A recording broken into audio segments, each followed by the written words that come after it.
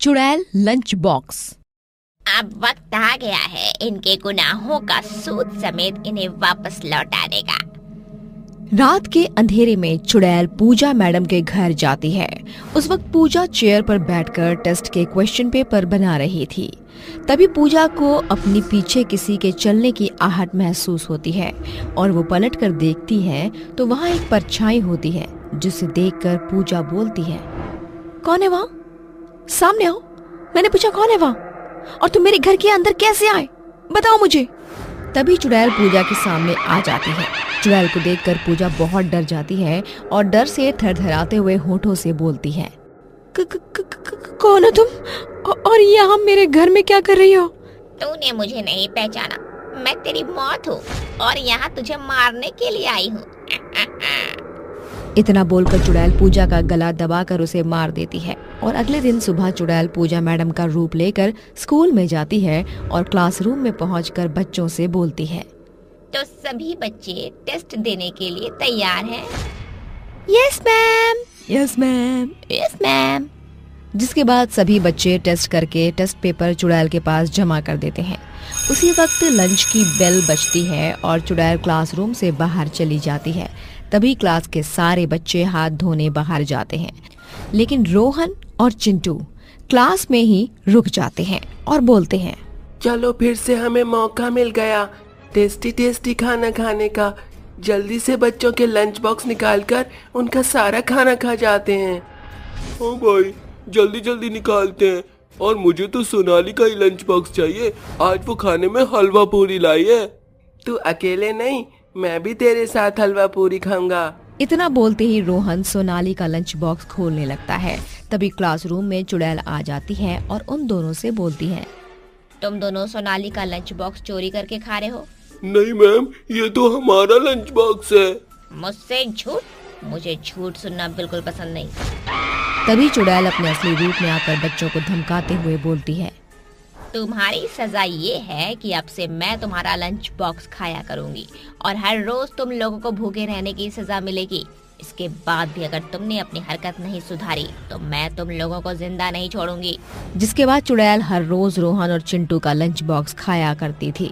ऐसे ही एक दिन की बात है, उस दिन राहुल नाम का लड़का एक दूसरे स्टूडेंट का लंच बॉक्स छीन कर खाने लगता है और उस बच्चे को डांट कर वहाँ से भगा देता है। तभी वहाँ पर चुड़ैल आ जाती है और अपने असली रूप में आकर बोलती है। तो तुम भी बुरे स्टूडेंट्स में से एक हो। अब मैं तुम्हें भी वही सजा दूँगी। अब कल से मैं तुम्हारा भी लंच बॉक्स खाया करूँगी और तुम भूखे रहोगे। और खबरदार तुमने मेरी ये सच्चाई किसी को बताने की कोशिश की तो उसका अंजाम बहुत बुरा होगा। नहीं मैम। मैम मैम मैम नहीं। चुड़ैल जी मैं ये बात किसी को नहीं बताऊँगा। बस आप मुझे मारना मत। ऐसे ही चुड़ैल हर रोज तीनों का लंच बॉक्स खाया करती थी। लेकिन एक दिन रोहन इन सब चीज़ों से बहुत परेशान होकर राहुल और चिंटू से बोलता है, आखिर हम कब तक इस चुड़ैल टीचर को अपना लंच बॉक्स खिलाते रहेंगे? अब हमें कुछ न कुछ तो करना ही पड़ेगा। हाँ रोहन, सही कहा तूने, लेकिन हम कर भी क्या सकते हैं? हमारी बात पर कौन यकीन करेगा? हम तो स्टूडेंट हैं और वो चुड़ैल टीचर मेरे पास एक तरकीब है। कल जब हम तीनों चुड़ैल टीचर को खाना देंगे, तब हम कैमरे में वो सब कैद कर लेंगे और अभिषेक सर को दिखा देंगे। शायद वो हमारी कुछ मदद करें। अगले दिन राहुल कैमरा ऑन करके क्लासरूम में रख देता है। तभी वहाँ चुड़ैल अपने असली रूप में आकर उन तीनों बच्चों का लंच बॉक्स खाकर वहाँ से चली जाती है। जिसके बाद वो तीनों बच्चे वो वीडियो अभिषेक सर को जाकर दिखा देते हैं। तभी अभिषेक सर स्टाफ रूम में जाकर पूजा मैडम का बाल पकड़कर उनसे बोलता है। कौन हो तुम? और क्यों स्कूल के बच्चों का लंच खा रही हो? बताओ मुझे। तभी चुड़ैल अपने असली रूप में आकर बोलती है। तो उन बच्चों ने तुम्हें मेरा असली सच बता ही दिया। हाँ मैं चुड़ैल हूँ। बुरे वो नहीं बुरी तुम हो। अब बताओ मुझे तुम क्यों बच्चों को परेशान कर रही हो? मुझे बुरा कहने से पहले तुम मेरी दर्द भरी दास्तां सुन लो। ग्रीनलैंड पब्लिक स्कूल था जहाँ गुनगुन पढ़ा करती थी। गुनगुन पढ़ने में बहुत ही इंटेलिजेंट थी और बहुत शांत स्वभाव की थी। उसके इसी सीधेपन का फ़ायदा स्कूल के कुछ बच्चे उठाया करते थे। एक दिन जब लंच के वक्त में गुनगुन खाना खाने जा ही रही होती है तभी रॉकी बोलता है आज तू हमें भोग लगाए बिना ही खाना खा रही है। तू कैसे भूल गई कि तेरे लंच बॉक्स पर सिर्फ़ मेरा अधिकार है? अब दे अपना डिब्बा और चल निकल यहाँ से। हर रोज तुम लोग मेरा लंच बॉक्स खा लेते हो और मैं भूखी रह जाती हूँ। प्लीज़ आज तो ऐसा मत करो आज मेरा जन्मदिन है। अच्छा तो आज तुम्हारा जन्मदिन है। फिर तो हम ज़रूर खाना खाएँगे क्योंकि तुम आज कुछ अच्छा ही लेकर आई होगी। जिसके बाद रॉकी और मोंटी गुनगुन के हाथ से लंच बॉक्स छीन कर खाने लगते हैं। तभी गुनगुन रोते हुए पूजा मैडम के पास जाती है और उनसे बोलती है पूजा मैडम रॉकी और मोंटी हर रोज मेरा लंच बॉक्स का सारा खाना खा लेते हैं और आज भी उन्होंने यही किया। ये तुम क्या बोल रही हो गुनगुन? रुको मैं अभी उनकी डांट लगाती हूँ। तुम भी चलो मेरे साथ। इतना बोलकर पूजा मैडम और गुनगुन क्लासरूम में जाते हैं तभी पूजा मैडम रॉकी और मोंटी से बोलती हैं क्या तुम दोनों ने गुनगुन का लंच बॉक्स छीन कर खाना खाया है? नहीं मैम हम तो अपना खाना खा रहे हैं आप देख सकते हैं। मैम गुनगुन झूठ बोल रही है उल्टा इसने हमारा खाना छीन कर खाया है और इसने हमारे खिलाफ आपके पास जाकर शिकायत कर दी। ये मैं क्या सुन रही हूँ गुनगुन? तुमने इन बच्चों का खाना छीन कर खाया है और झूठे शिकायत करने मेरे पास आ गई। तुम तो बहुत अच्छी बच्ची थी ना और अब तुम भी झूठ बोलने लग गई। नहीं मैम मैं सच बोल रही हूँ मैं झूठ नहीं बोलती। चुप हो जाओ और बंद करो अच्छे बनने का ड्रामा। निकल जाओ मेरी क्लास से बाहर। पूरे क्लासरूम के सामने हुई बेइज्जती को गुनगुन बर्दाश्त नहीं कर पाती और स्कूल की छत से कूद कर अपनी जान दे देती है। तभी स्कूल का प्रिंसिपल गुनगुन के घर पर कॉल करके बोलता है। हेलो? आप गुनगुन की मदर बोल रही हैं? आपको इसी वक्त अर्जेंट स्कूल आना होगा। आप जल्दी से आ जाइए। ठीक है मैं अभी आती हूँ। जिसके बाद गुनगुन की माँ दौड़ते हुए स्कूल पहुँचती है और अपनी बेटी की मौत का सदमा बर्दाश्त नहीं कर पाती और वो भी वहीं मर जाती है। और तभी से मेरी आत्मा यहाँ पर भटक रही है और मैं हर उस बुरे और लालची स्टूडेंट का लंच खा जाती हूँ जो दूसरों को परेशान करते हैं। मैं मानता हूँ तुम्हारी बेटी के साथ बहुत गलत हुआ लेकिन उसे किसी ने नहीं मारा बल्कि उसने आत्महत्या की है। फिर भी मैं माफ़ी माँगता हूँ। अपने स्कूल वालों की तरफ़ से हमें माफ़ कर दो। अब तुम यहाँ बच्चों को परेशान करना बंद करो। तुम भी तो एक माँ हो और एक माँ कभी भी बच्चों का बुरा नहीं सोच सकती। अब तुम यहाँ से चली जाओ। अभिषेक सर की बात सुनकर चुड़ैल को अपने किए पर पछतावा होता है और वो बोलती है हाँ तुम सही कह रहे हो। मैं बदले की भावना में कुछ ज़्यादा ही बह गई थी और संसार के नियमों को तोड़ने लगी। अब मैं वादा करती हूँ, मैं यहाँ किसी भी स्टूडेंट को परेशान नहीं करूँगी और यहाँ से हमेशा के लिए जा रही हूँ। तुमने ट्यूशन का होमवर्क पूरा क्यों नहीं किया? अब तुम्हें इसकी सजा मिलेगी, ताकि अगली बार से कोई भी बच्चा मेरे ट्यूशन में ऐसी लापरवाही न कर सके। प्रदीप सर, मुझे माफ़ कर दीजिए, मैं नेक्स्ट टाइम से कभी गलती नहीं करूँगा और हमेशा अपना पूरा होमवर्क करके आऊँगा। नहीं, मैं गलती करने वालों को माफ़ नहीं करता। अब तुम्हें इसकी सजा मिलकर रहेगी। और देखते ही देखते प्रदीप एक भयंकर भूत में बदल जाता है, जिसकी बड़ी बड़ी लाल आँखें, काले दांत और लंबे नाखून थे। अपने सर को भूत बनता देख सोनू डर से थर थर कांपने लगता है और उसके माथे से पसीना छूटने लगता है। तभी वो अपने कपकपाते होठों से बोलता है आप कौन है? आप मेरे सर नहीं हो सकते। बताइए आपने मेरे सर के साथ क्या किया? मैं ही तुम्हारा सर हूँ और अब तुम अपनी ज़िंदगी की आखिरी सांस लेने वाले हो। इतना बोलते ही प्रदीप सोनू का गला दबाकर उसे मार देता है और फिर से इंसानी रूप ले लेता है। ऐसे ही अगली शाम भी प्रदीप बच्चों को ट्यूशन पढ़ा रहा होता है। तभी चिंकी और मोनू ट्यूशन में आते हैं और प्रदीप उन्हें देखकर बोलता है आ गए दोनों नमूने। वो भी इतनी लेट आए हो। कहाँ थे दोनों? इतनी देर से जल्दी बताओ। सर वो मैं चिंकी का वेट कर रहा था। इसी की वजह से मुझे आने में देर हो गई। ठीक है मोनू तुम जाकर अपनी सीट पर बैठो। और चिंकी तुम? मुझे ये बताओ कि तुम क्या कर रही थी? क्या तुम्हें पता नहीं शाम में तुम्हें ट्यूशन आना होता है? सर सर सर सर वो वो मेरी नोटबुक गुम हो गई थी। उसी को ढूँढने के चक्कर में लेट हो गई। कोई बात नहीं अब तुम दोनों लेट आए हो तो मैं तुम्हें घर लेट ही भेजूँगा। अब जाकर बैठो और जल्दी से मुझे अपना होमवर्क चेक करवाओ। ठीक है सर। जिसके बाद प्रदीप चिंकी का होमवर्क चेक करके फिर से बच्चों को पढ़ाने लगता है। थोड़ी देर बाद सभी बच्चों की छुट्टी हो जाती है लेकिन प्रदीप मोनू और चिंकी की छुट्टी नहीं करता और वो दोनों वहीं बैठकर पढ़ने लगते हैं। तभी प्रदीप को प्यास लगती है और वो पानी पीने किचन में जाता है। अपने सर को जाता देख चिंकी बोलती है, मोनू, सर थोड़ी देर के लिए किचन में गए हैं। चल हम कागज़ का हवाई जहाज़ बनाकर आसमान में उड़ाते हैं। हाँ सही कहा तूने चिंकी। वैसे भी इतनी देर से पढ़ पढ़ कर मैं बहुत बोर हो गया हूँ। चल हवाई जहाज़ बनाकर उड़ाते हैं। जिसके बाद वो दोनों बच्चे रूम से बाहर जाकर गार्डन में कागज़ का हवाई जहाज़ बनाकर उड़ाने लगते हैं। तभी रूम में प्रदीप आता है और उन दोनों को रूम में ना पाकर बाहर जाता है और उन्हें खेलता हुआ देखकर गुस्से से आग बबूला हो जाता है और बोलता है ये तुम दोनों ने बिल्कुल भी अच्छा नहीं किया। मुझे गुस्सा दिलाकर। अब देखो मैं तुम्हारे साथ क्या करता हूँ। इतना बोलते ही प्रदीप एक भयंकर भूत में बदल जाता है। भूत को देखकर दोनों बच्चे डर जाते हैं तभी डरते हुए चिंकी बोलती है भूत सर हमें माफ़ कर दीजिए हम फिर से ऐसी गलती नहीं करेंगे.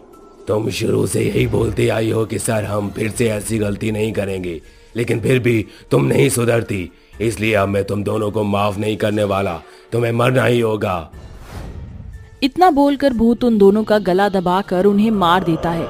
ऐसे ही वक्त बीतता है और फिर एक दिन गीता अपने दोनों बेटों आदर्श और मोहित को लेकर प्रदीप सर के ट्यूशन पहुँचती है और उनसे बोलती है नमस्ते प्रदीप जी अब मेरे दोनों बेटे नालायक और निकम्मे हैं। इनका पढ़ाई में बिल्कुल मन भी नहीं लगता है। इसलिए मैं चाहती हूँ कि आज से आप इन दोनों को पढ़ाइए। अब आप इनकी चिंता करना छोड़ दे। मैं देखता हूँ ये कैसे नहीं पढ़ते हैं। जिसके बाद गीता अपने दोनों बच्चों को छोड़कर वहाँ से घर चली जाती है और प्रदीप उन्हें बैठकर पढ़ाने लगता है। लेकिन मोहित और आदर्श पढ़ने की जगह नोटबुक में ज़ीरो काटा बनाकर खेलने लगते हैं। ये देखकर प्रदीप को बहुत गुस्सा आता है और वो बोलता है मुझे शरारती बच्चे बिल्कुल भी नहीं पसंद। अब तुम दोनों सजाए मौत के लिए तैयार हो जाओ। इतना बोलते ही प्रदीप एक भयंकर भूत में बदल जाता है। भूत को देखकर आदर्श और मोहित भागने लगते हैं। तभी भूत उन दोनों को पकड़ लेता है और उनका गला दबाने लगता है। तभी आदर्श चीखते हुए बोलता है कोई बचाओ हमें। बचाओ वरना ये भूत हमें मार डालेगा। बचाओ बचाओ। तभी प्रदीप के घर के सामने से मोहन गुजर रहा होता है और उस आवाज़ को सुनकर खुद से बोलता है ये तो किसी बच्चे के चीखने की आवाज़ है। क्या प्रदीप किसी को मार रहा है? चलकर खिड़की से देखता हूँ। जिसके बाद मोहन खिड़की से अंदर झाँक कर देखता है और अंदर के नजारे को देखकर हक्का बक्का रह जाता है और बोलता है ये मैं क्या देख रहा हूँ? मुझे अपनी आँखों पर यकीन ही नहीं हो रहा। प्रदीप इंसान नहीं बल्कि एक भूत है और वो बच्चों को मार रहे हैं। मुझे उन मासूम बच्चों को बचाना होगा। इतना बोलकर मोहन दरवाज़ा तोड़कर ट्यूशन के अंदर घुस जाता है। तभी मोहन को देखकर प्रदीप बोलता है तो तुम्हें मेरा राज पता चल ही गया। अब मैं इन बच्चों के साथ तुम्हें भी मार डालूँगा और अपने इस राज को तुम्हारे साथ ही यहीं दफन कर दूँगा। मैं तुम्हारे आगे विनती करता हूँ। तुम इन दोनों मासूम बच्चों को छोड़ दो। और क्यों तुम इन दोनों को मारना चाहते हो? इन्होंने तुम्हारा क्या बिगाड़ा है? ये बच्चे बच्चे नहीं होते, बड़ों के भी बाप होते हैं। और क्या बोला तुमने? इन्हें मासूम? ये मासूम नहीं, शैतान है। हम बड़े इन्हें बच्चा समझकर इन्हें माफ़ कर दें। ये हमारी सबसे बड़ी भूल है। ऐसे ही उस दिन उन बच्चों ने मेरी हंसती खेलती ज़िंदगी उजाड़ दी। इसलिए मैं इन्हें नहीं छोड़ूँगा, मार दूँगा।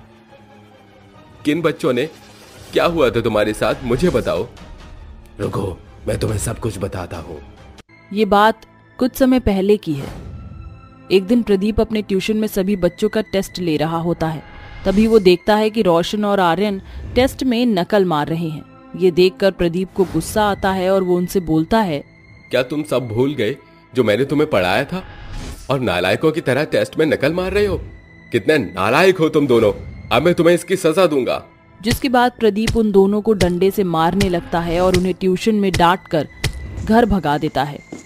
रोशन और आर्यन रोते हुए अपने घर पहुँचते हैं। उनको रोता हुआ देख उनका पिता देवराज ठाकुर उनसे बोलता है क्या हुआ मेरे लाल को?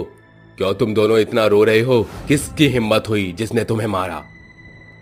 पापा वो प्रदीप सर ने ट्यूशन में हमारी बहुत बेइज्जती की और उसने हमें बहुत मारा। पापा अब आप प्रदीप को छोड़ना मत। उस प्रदीप की इतनी हिम्मत जो उसने मेरे लाल को हाथ लगाया अब देखो मैं उसका हश्र क्या करता हूँ। जिसके बाद देवराज ठाकुर अपने दोनों गुंडों को लेकर प्रदीप के ट्यूशन पहुँचता है। तभी उसके दोनों गुंडे डंडे से मार मार कर प्रदीप की जान ले लेते हैं। तभी से मेरी आत्मा यहाँ बच्चों को ट्यूशन पढ़ाती है और जो बुरे बच्चे होते हैं उन्हें मौत के घाट उतार देती है। मैं मानता हूँ तुम्हारे साथ गलत हुआ लेकिन तुम मुझे ये बताओ कि ये कहाँ का कानून है? जो बच्चों की गलती पर उन्हें मौत के घाट उतार दिया जाए क्या उन्हें सुधरने का मौका नहीं दिया जा सकता है? बताओ मुझे तुम भी तो एक शिक्षक हो ना?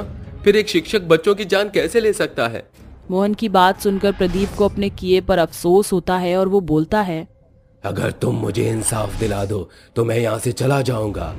मैं चाहता हूँ कि देवराज ठाकुर को कानून सजा दे तभी मेरी आत्मा को शांति मिलेगी। तुम्हें इंसाफ मिलेगा। मैं दिलवाऊँगा। जिसके बाद मोहन पुलिस को सारी सच्चाई बता देता है और पुलिस देवराज ठाकुर को गिरफ़्तार करके जेल में डाल देती है और प्रदीप की आत्मा को शांति मिल जाती है। गाँव में रहने वाली बारह वर्षीय कोमल पढ़ने में बेहद तेज तर्रार और होशियार थी जिस कारण कक्षा के तमाम अध्यापक गण उसे खूब सराहते थे। उसके घर की हालत कुछ खास न थी। उसका एकमात्र सहारा उसकी माँ गंगा थी, जो काफ़ी मेहनत करके चार पैसे जोड़कर उसे पढ़ा लिखा रही थी। कोमल पढ़ने में अपना पूरा ध्यान लगाती थी, पर एक दिन वो उदास होकर अपनी माँ से कहती है, माँ, स्कूल के सभी बच्चों के पास रंग बिरंगे सुंदर स्कूल बैग हैं, सिवाय मुझे छोड़कर। मुझे ये झोला लेकर स्कूल जाना बिल्कुल भी पसंद नहीं है। बिटिया, अपनी माँ को थोड़ा वक्त दे। मैं तुझे बाकी बच्चे से भी सुंदर सा स्कूल बैग खरीद दूँगी। अभी तेरी माँ के हाथ पैसा नहीं है बिटिया। आर्थिक तंगी के अभाव से जूझ रही गंगा कोमल को समझा बुझाकर स्कूल के दरवाजे तक छोड़ आती है। कोमल जैसे ही क्लासरूम में पहुँचती है तो कुछ बच्चे उसका मज़ाक बनाते हुए कहते हैं। अरे अरे देखो, दोस्तों देखो, झोला छाप बाबा चले आ रहे हैं। चलो बाबा को थोड़ी भिक्षा दे दी जाए। क्यों री भिखारन? तेरी माँ के पास इतने भी पैसे नहीं है क्या कि तुझे एक स्कूल बैग दिला सके? इसका ये सड़क छाप झोला बूढ़ी एकदम पुराने जमाने का लगता है। ऐसा झोला मैंने तपस्वियों के कंधों पर देखा है जो अलोक निरंजन कहते हुए भिक्षा मांगते फिरते हैं। सभी बच्चे उसका खूब मज़ाक उड़ाते हैं। ये देख कोमल फूट फूट कर रोते हुए कहती है तुम लोग हमेशा मेरा मज़ाक क्यों उड़ाते हो? पढ़ने के लिए झोला हो या स्कूल बैग क्या फ़र्क पड़ता है? इसके पास स्कूल का बस्ता नहीं है। इसको क्लासरूम से बाहर का रास्ता दिखाओ। सभी बच्चे मिलकर उसको कक्षा से बाहर निकाल देते हैं और कोमल रोते हुए घर आ जाती है। उसकी माँ गंगा पैसे जोड़कर उसके लिए एक स्कूल बैग खरीद लाती है और कोमल तैयार होकर स्कूल जाते हुए कहती है स्कूल चले हम अब मेरे पास भी स्कूल बैग है, वो भी सबसे सुंदर। कोमल जैसे ही क्लासरूम में कदम रखती है, सभी बच्चे उसके स्कूल बैग को एक टक निहारते रह जाते हैं और वो कहती है, तुम सभी के चेहरों के तोते क्यों उड़ गए? तेरा स्कूल बैग तो बड़ा ही प्यारा है। खबरदार, जो मेरे स्कूल बैग को किसी ने छूने की हिम्मत भी की तो। पढ़ाई खत्म करके कोमल अपना स्कूल बैग टांग कर जैसे ही स्कूल के मेन गेट पर आती है तो उसकी माँ गंगा सड़क पार्क उसका इंतज़ार कर रही होती है। तभी कोमल चलती सड़क पर दौड़ती हुई उसकी तरफ़ भागती है और उसको बचाने के चक्कर में गंगा को हल्की चोट लग जाती है। फिर कोमल हड़बड़ी में अपना बस्ता वहीं छोड़कर अपनी माँ के पास जाकर कहती है, माँ, तुम ठीक तो हो ना? फिर दोनों घर आ जाते हैं और थोड़ी देर बाद गंगा कहती है, बिटिया, तेरा स्कूल बैग नज़र नहीं आ रहा है। कहाँ है?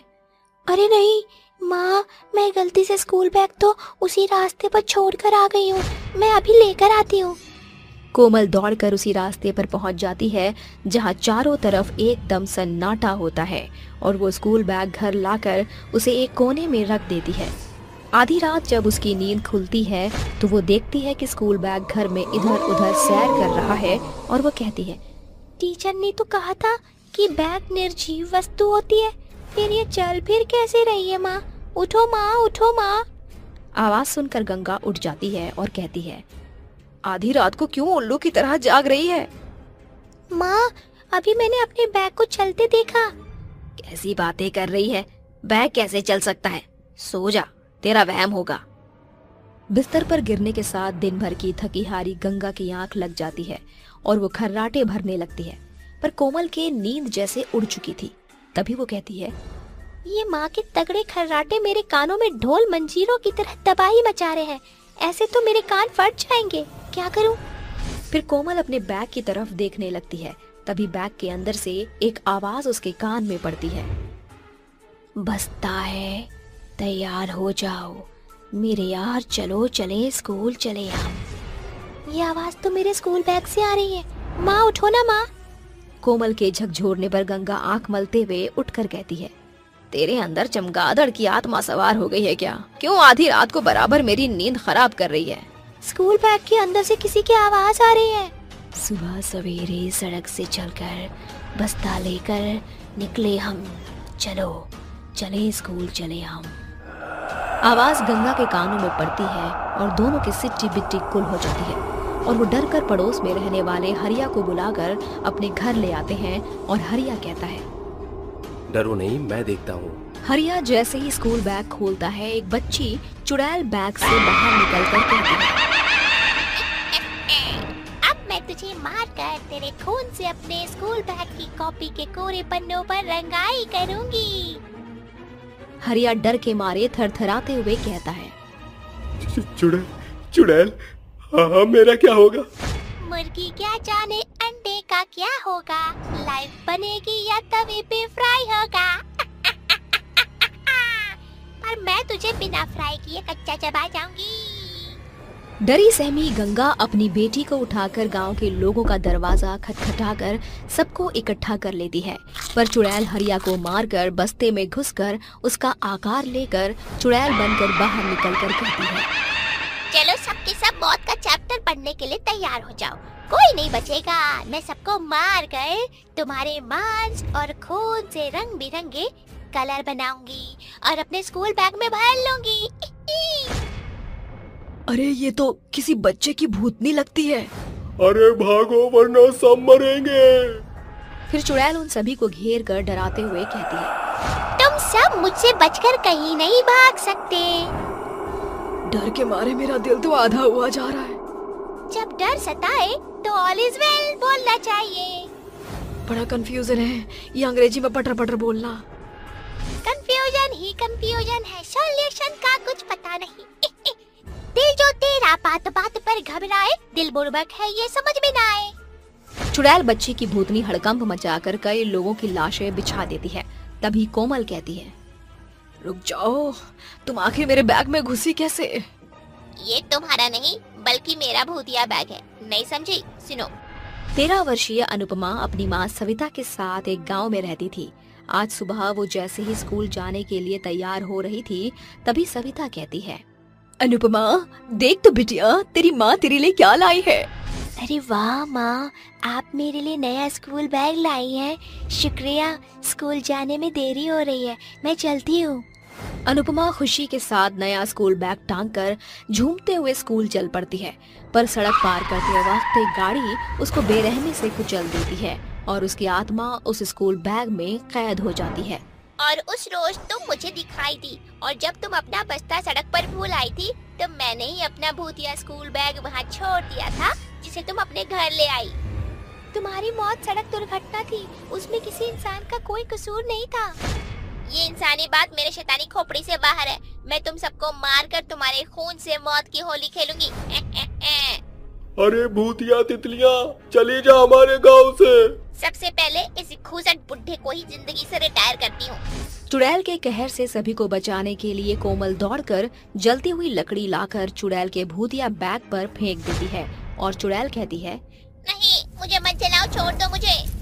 चुड़ैल तड़पते हुए जलकर राख हो जाती है और भूतिया स्कूल बैग का किस्सा हमेशा के लिए खत्म हो जाता है।